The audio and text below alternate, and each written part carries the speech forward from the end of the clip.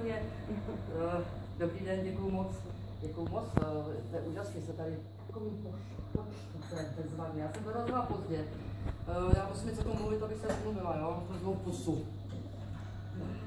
Já mám krátký vstup, takový blog, který je věnován Praze. Mezi 2016 a 2017. Kdyby se sypal na zem cukr, byla by Praha sladká a laškovná, ale je mokro. Leskne se celička jakoby z igelitu, umazaného zrcadla. Vidíš v něm okna domů, bulvár Václaváku, sem tam i postavy. Jsou temnější než stíny všech lamp, co tancují v blikajících odlescích mezi ohněm, co hoří u stolků, aby hostům utíkal čas se sklenicemi vína tepleji. Protože červené se nesmí podávat chlazené. Kdyby se sypala na zem sůl, bílá Praha by byla svěží jako vzduch nad mořem. Byla by neukašlaná a nekýchala by na každém rohu, kde jsou cítit cigarety a lehký závan parfému. Co inspiruje kněze, ne kněze, kněze. Kdyby byla Praha les, jakože je lesem, protože lidé se malinko podobají stromům, když se zastaví ve spěchu a ustrnou očima průzračnosti času. Kdyby tohle město mezi koncem a začátkem bylo bez mobilů a dotýkalo se displejů obličeje každého z nás, staré zámecké schody by tančily. A Mozart na Bertramce by usedl ke klavíru a hrál. Kdyby padal sníh, koupila bych metrák mrkve a na každém plácku mezi dálnicí, refížemi a podchody bych postavila sněhuláka, co by měl dlouhý nos jako Pinokio. Kdyby.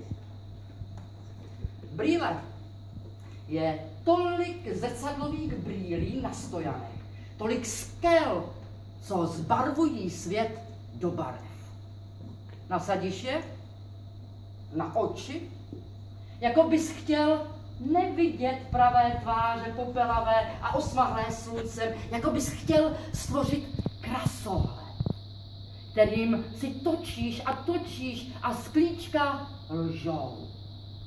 Chtějí lhát, klamat, zrak a v každé obrátce jinota je pohádkové příběhy lesklých radostí. Ach, ach umět, umět tak klouzat po zmrzlé kaluži a neupadnout. Je tolik brýlí, za kterými vidíš svoje oči? Ne. Nevidíš svoje oči, ale sám sebe. Ale tak se to stalo. Vešel do obchodu a koupil všechny, všechny, všechny, všechny, všechny zrcadlové odrazy svého obličeje. Ach, být tak s klíčkem v krasohledu. Než se skutálil ze stolu a rozbil se. Dala bych ti ho. Je tolik zrcadlových brýlí pro jistotu. Eh, dnes jsem měla dlouhý šedivý plášť. Přikrývala jsem s ním střechy, okna, chodníky i oblohu. Byla jsem elegantní a rozpačitá. Projížděla jsem sama sebou. Vnímala jsem svá tajemství rozkvétat. A kde si v dálce byly cítit čajové růže, omamné a varující. Z vůně se může vykřesat touha. A tak jsem se svlékla do naha. Na jednu, jednu vteřinu.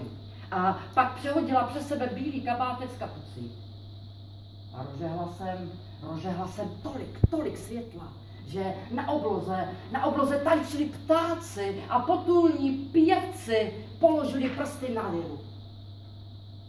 Stála jsem uvnitř všech těch zákoutí a zpívala. Jsem Praha. Šli po betonu hloubci. Šli po betonu hloubci a já vzpomněla si na hrabala. Roztáhl ruce a jeden z nich v tu chvíli chvíli vzletl, jakoby, jakoby se chtěl přenést takový nimbuského pivovaru, kde pod ním mlály vlasy až po blatníky kol. Krásky, za kterou se i plný žbán piva otáčel. Šli po betonu hloubce na nádraží, které zývalo a vonělo kávou v kelíncích na opuštěné lavičce, kde někdo nedávno čekal. Šli po betonu hloubce a já si vzpomněla na, na obrubník chodníku. Bylo léto.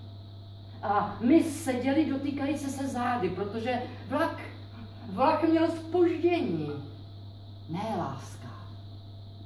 Ne láska. Ta se nikdy, nikdy, nikde nezapomene na tož, na tož na nádraží. A tak šli po betonu hloubce.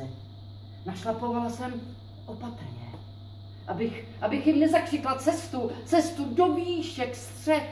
A vzpomněla jsem si, vzpomněla jsem si na půdu, která byla plná slámy a my jsme tam lehávali a snili o dospělosti a, a žvíchali stébla jako cigáro. Šli po betonu holoubce.